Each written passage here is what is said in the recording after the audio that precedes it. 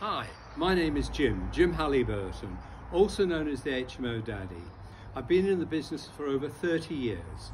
I've built up a portfolio of over 100 properties. Now you may look at me and think I was born with a silver spoon in my mouth. I was not. I got my first properties by using credit cards. That's why my business cards look like credit cards to remind me of my start. I want to be able to show you how you can start a portfolio, build up a portfolio of over 100 properties I have, worth over 26 million pounds by doing the same thing.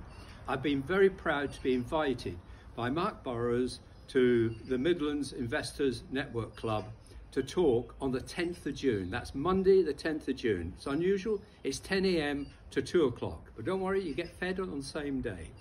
I'm going to share the secrets that I managed to build up a portfolio not using my money, using all the kind of different strategies that are available, such as other people's money, uh, purchase lease options, delay completion, adverse possession, vendor finance, how I've run it, the 30 years experience of running all types of HMOs from unemployed, this is where Mark and I have the same want and uh, thrust, to want to help people, professionals, and I even have one of the largest co-living HMOs outside London.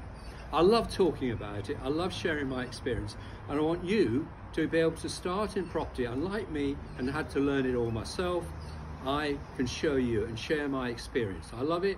I've written over 15 books on the subject of HMOs. I love talking about, I love sharing my experience. I want to share my experience with you. So come along on the 10th of June. 10 to 2 o'clock, Avery Fields in Birmingham. Thank you. Thank you for listening.